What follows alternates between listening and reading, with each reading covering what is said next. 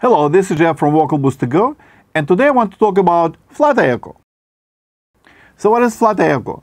Flutter echo is a rapid series of echoes that reflect from one wall to another from parallel surfaces. Do do do do do do do like that.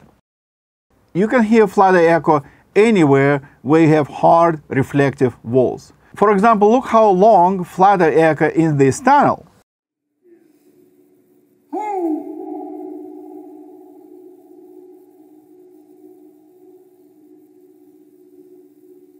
That's a long echo. That's a very long echo.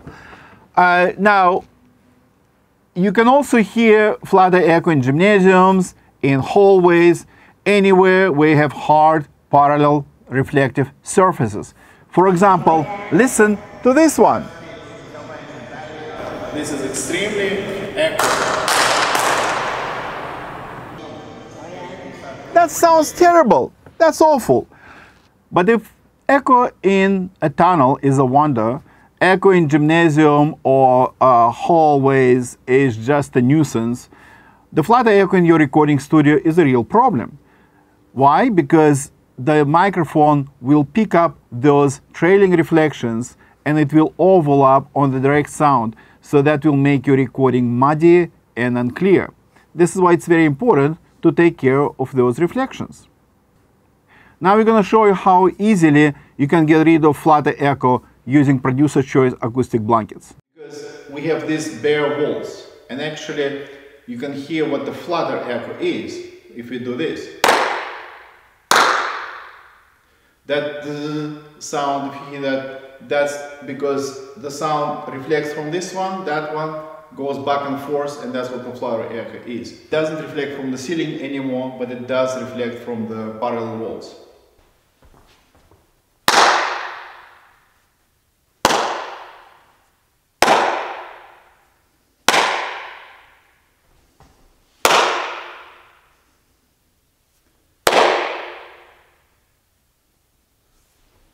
So now we covered the sides uh, on both sides of the microphone with the blankets on the flexi FlexiTrack.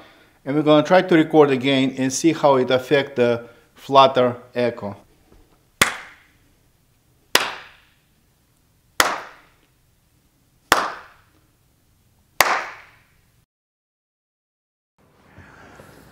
So now we put this diagram side by side and you can see that in the first case without the blankets there is a big spike, that's where the clap is, and then there is a trailing sound waves.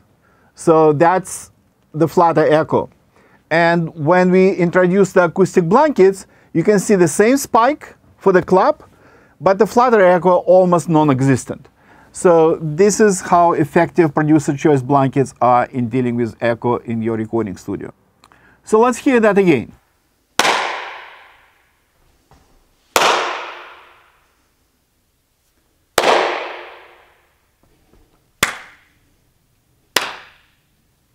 That's a big difference. That's a huge, huge difference.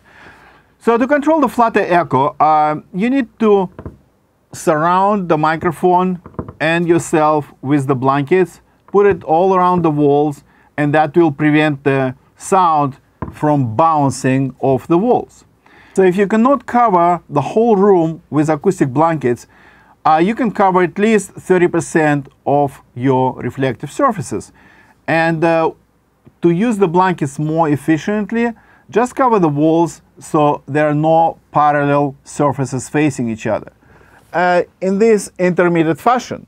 So this way, when the sound goes up, it bounces off the wall and then it gets absorbed by the blanket.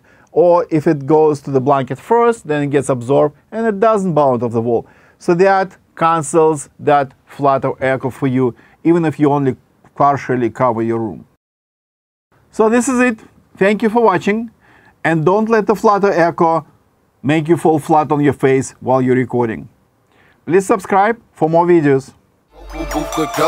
A portable experience, feeling it for the lyricists. It's all around the world, and you, all you need to do is step into the booth, and you will see the truth, and you will see the proof. Salute to the new studio that's on the go. Spit a couple bars in the hotel before you rock a show, or You could be the new kid on the block, recorded from different locations instead of one spot.